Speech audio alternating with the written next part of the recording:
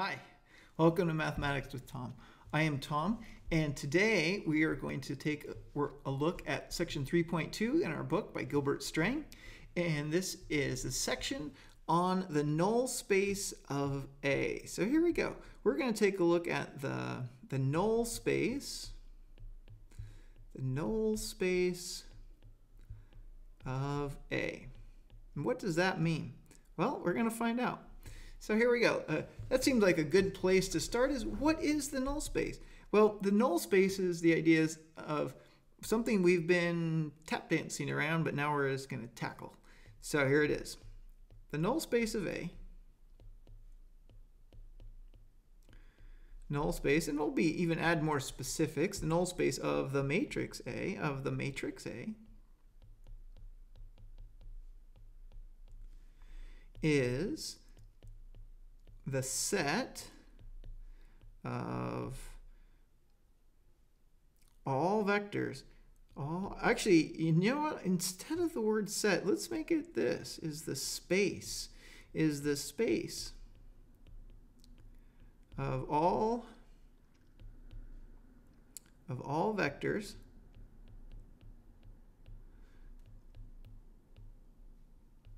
of all vectors x that satisfy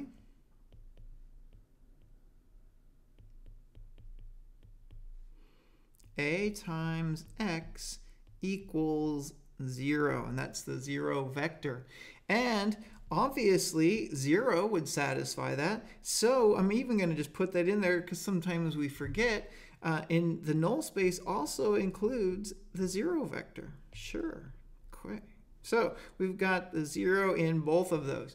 Now, what I'd like to do is first, let's work, work with an example so we can get an idea of what we're doing. And then we're actually going to prove that the null space of A, and maybe just for, just let's just be really clear, it's not just a space, it's the vector space. You're like, really? A solution is a vector space? We're going to see. Yes, it is. So here we go. Um, and let's begin with this. So let's consider consider the matrix A. And how about this? How about 1, 2, 1, 1, and 2, 3. There's the matrix A. And so what we want to do is I want to take a look at this. And let's look at this. So we want to see what vectors satisfy. So 1, 2, 1, 1, 2, 3. Now notice this x in this case has to have three elements. There's an x1, x2, x3, or we could have used x, y, z equals 0. Now, let's take a look. This is actually, this problem is set up, set up so that we can look at it and see. Well, let's see what x's might satisfy. So let's write x equals, oh, look at this. Notice that if I take the first column, plus the second column, that equals the third column.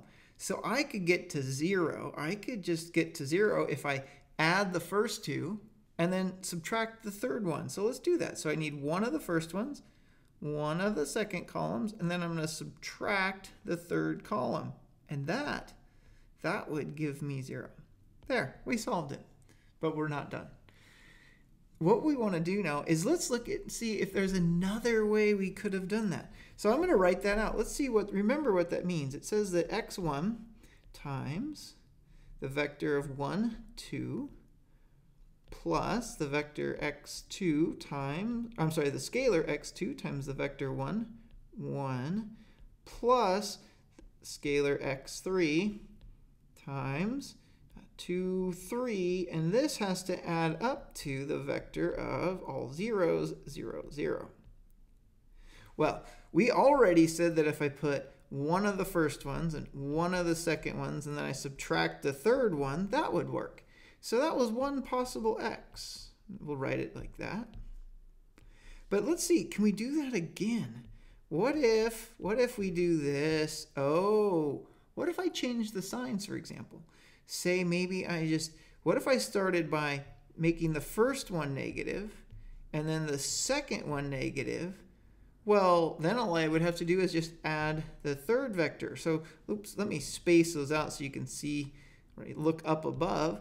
So then I'd subtract 1 from the first vector. Let's subtract 1 of the second vector, and then I could add 1 of the third vector. That's another possible x. Hmm, are there others? Oh, I, I have an idea. Uh, you know, how many others are there? I'm curious now. Oh, what about this? What if I was to wonder, if I was just to multiply, so by a scalar, is some scalar c times x a solution? Well, I've got two x's here. I'm going to work with the first one. So I'm going to call them x1 and maybe x2. So is cx1 a solution? Question mark. Well, let's try that. So that would mean that really my solution would look like um, would look like this. So c times x1, that would mean that I have c times the vector 1, 1.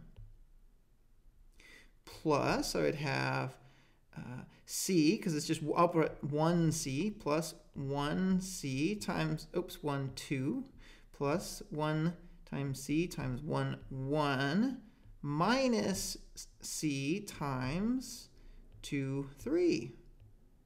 Well, notice that you could factor out a c. c times, this is 1 times 1, 2, uh, 1 times 1, 1 minus 1 times 2, 3. But we already said that that's a solution.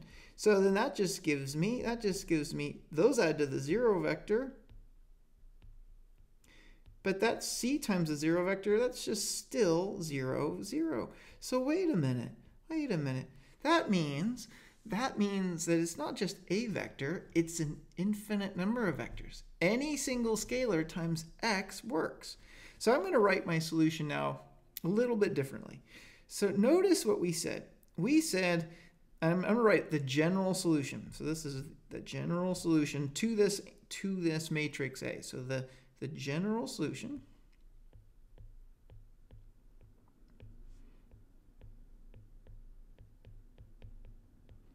the general solution is, notice that what we had, we had x equals c times x1. That was the first x that we found. I should put an x1 over here too. Well, what we do is these solutions, these are special solutions because it's just a multiple of that that gives you all possible x. So what we usually do, or our, our book does, is we say that it's just a scalar c, and instead of x1, we write s1, where s1 is actually the x1. And S1 stands for special solution. Special solution. There. And, and our last bit now is this. I'm going to get some more screen.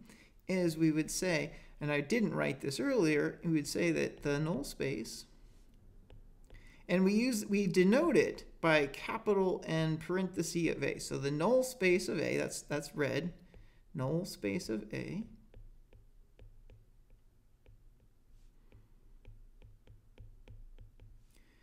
The null space of A is a line